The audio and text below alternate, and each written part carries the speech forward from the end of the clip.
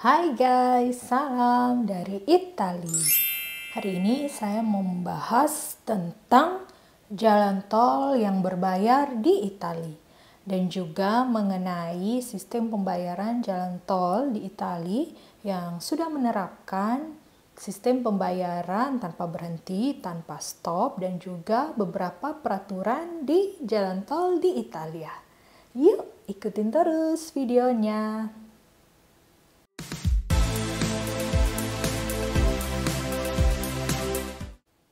Jalan tol paling tua di dunia itu dibangun pertama kali di Italia pada tahun 1924 yang menghubungkan antara Milan ke daerah danau di Varese dan terus berkembang sampai sekarang ini di Italia untuk autostrada atau jalan tol berbayar itu ada 8.000 km di seluruh wilayah Italia. Dan juga ada jenis tol yang lain lagi guys. Dia seperti jalan tol mirip-mirip, tetapi dia gratis yang namanya Jalan Ekstra Urbana Principale. Dan itu ada 10.000 km. Dan ini memang termasuk luas dan panjang banget guys kalau kita bandingkan dengan Indonesia yang luas wilayah Italinya itu sebenarnya lebih kecil dari luas area pulau Sumatera dan secara keseluruhan luas area dari Italia itu seperenam atau luas wilayah Indonesia itu enam kali dari wilayah Italia. Sampai sekarang ini jalan tol yang sudah beroperasi di Indonesia itu sekitar 2.623 km dan memang masih ada yang akan segera beroperasi. Dan itu memang masih terlalu kecil ya sehingga perlu terus-menerus dibangun jalan tol yang baru untuk meningkatkan kelancaran distribusi dan lain-lain, kelancaran mobilitas atau transport transportasi. Dan untuk masuk ke jalan tol di Italia ini sudah diterapkan dari tahun 1989 atau 34 tahun yang lalu sistem pembayaran kita bisa masuk tol tanpa berhenti, tanpa harus buka jendela, kita langsung bisa masuk, kemudian keluar lagi seperti itu. Jadi tidak perlu antri. Di Italia sistemnya dinamakan telepass.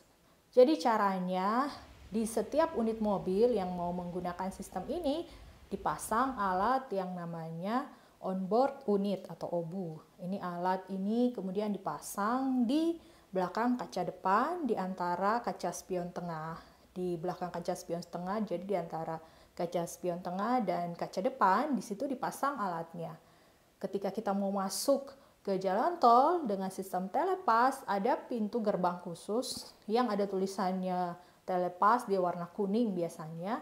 Kita masuk di situ pertama nanti alat ini obu ini yang ada di mobil atau kendaraan kita itu dia akan memberikan sinyal ke detektor yang ada di pintu tol telepas ini, kemudian kita bisa masuk dengan kecepatan rendah 30 km per jam dan nanti di palang tolnya itu nanti ada bunyi beep lagi jadi ada dua kali beep kemudian itu langsung terbuka gitu. Jadi ini prosesnya cepat banget guys. Ini sekitar sepersepuluh detik aja 0,1 detik aja prosesnya. Jadi kita hanya perlu memperlambat kendaraan 30 km per jam aja seperti itu. Dan ini memang terasa banget kalau untuk kami gitu, kalau untuk berpeger, ber, berpegergian kayak gitu, jadi cepat banget, gak perlu lagi antri, gak perlu lagi lama-lama di pintu tol, terutama kalau lagi libur panjang, banyak orang kendaraan atau antrian itu memang dengan sistem ini lebih cepat. Dan lagi karena di Italia itu selain memang sudah ada sistem telepas ini dari lama, sistem pembayaran lagi yang lain misalnya dengan cash, dengan uang kontan dan juga dengan kartu misalnya kartu kredit, kartu ATM dan lain-lain sistem pembayaran yang lain-lain itu itu tetap ada pintu tol khususnya.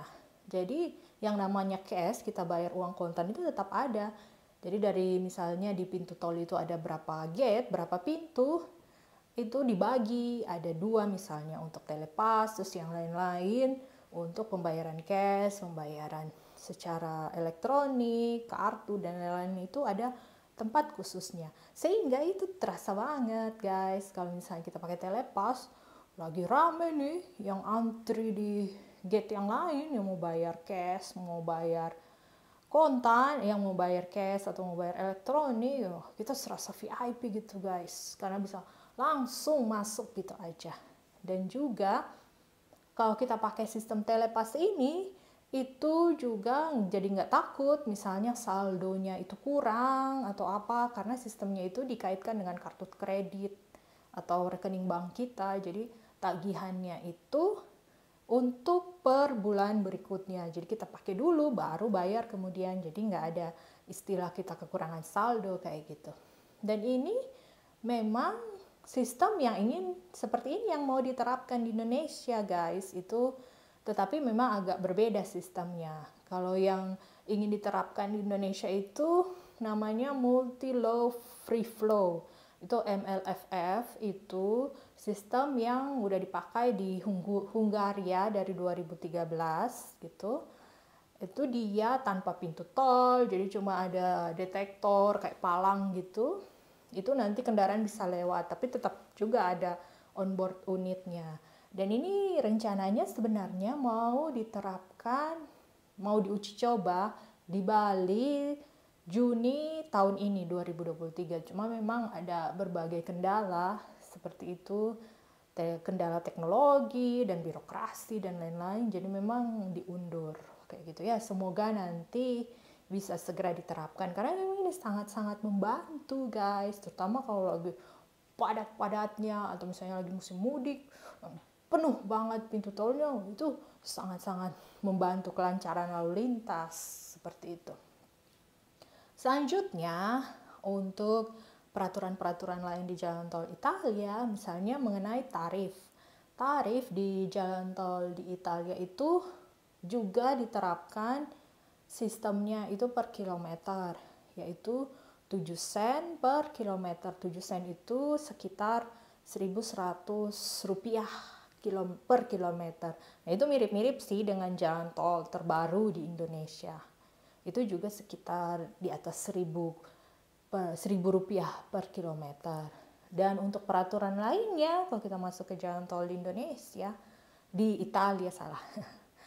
Peraturannya kalau kita masuk ke jalan tol di Italia, kecepatan minimumnya itu 80 km per jam. Jadi truk-truk besar di Italia itu dia memang potensinya itu kekuatan mesinnya itu besar jadi mereka bisa tuh kecepatannya itu 80 km per jam. Truk-truk yang trailer besar banget itu itu bisa banget cepet banget larinya guys. Dan dia karena sistem untuk truk-truk besarnya di Italia itu juga rapi jarang banget gitu yang adanya istilah kecelakaan yang patah as ya atau kelebihan muatan kayak gitu. Karena memang potensi dari mobilnya atau truknya itu udah besar kayak gitu.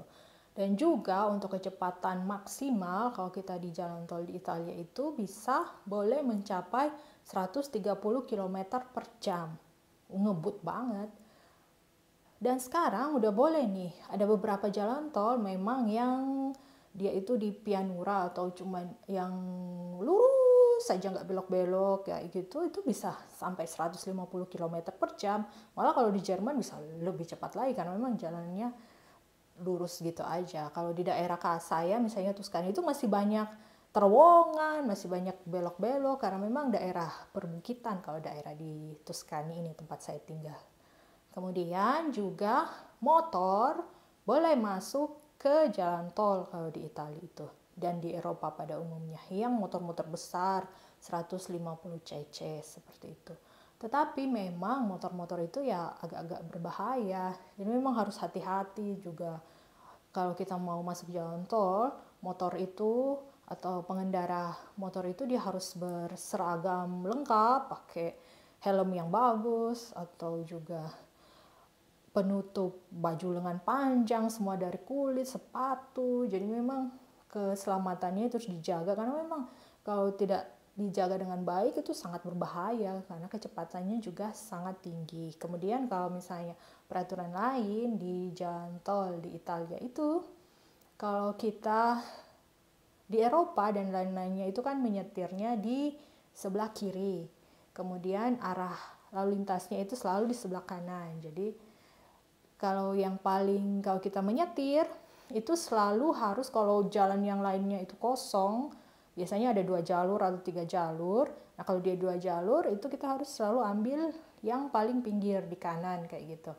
Ambil di kanan nggak boleh tuh kalau jalan kosong tidak ada siapa-siapa atau apa terus kita nyetir enak aja di tengah kayak gitu. Nggak boleh. Jadi jalur di tengah itu kalau kita kecepatannya tinggi mendahului kendaraan-kendaraan yang lain. Jadi kalau misalnya kosong tetap harus ambil jalur paling kanan kayak gitu tapi kalau tiga jalur, biasanya yang tengah inilah tempat mobil atau kendaraan kecepatan tinggi. Tapi yang paling pinggir itu untuk mobil-mobil truk-truk yang besar kayak gitu. Nah, untuk yang paling tinggi, pinggir, yang tengah itu untuk jalur mendahului seperti itu. Jadi jalan tol di Italia itu memang kecepatannya tinggi banget dan memang kita jadi lebih cepat sampai juga jadinya. Dan lagi yang menariknya aspal, semua aspal untuk jalan tol di Italia itu dan juga di Eropa pada umumnya aspal yang poros atau aspal yang menyerap air. Aspal yang kalau misalnya hujan atau deras banget hujannya itu kita tidak akan melihat tuh genangan air di aspal.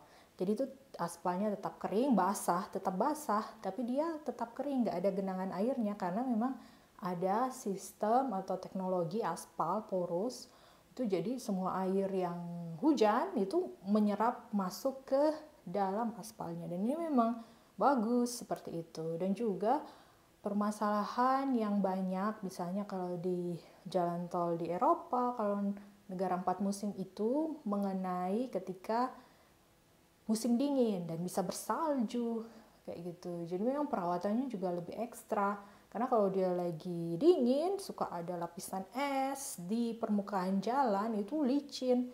Jadi suka ada kalinya harus ditaburi garam dan lain-lain. Perawatannya itu juga ekstra.